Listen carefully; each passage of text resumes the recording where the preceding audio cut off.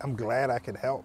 I'm glad I could bring laughter and joy into the world and bring people together who otherwise would be apart or separate. Um, so I'm very, very happy that laughter can unite people who, uh, where politics divide and, and race divides. Uh, humor brings and heals all.